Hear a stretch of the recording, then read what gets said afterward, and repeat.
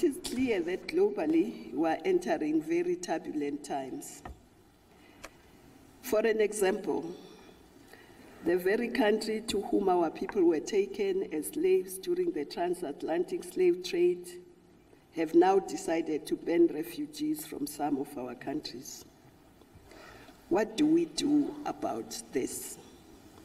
Indeed, this is one of the greatest challenges and test to our unity and solidarity.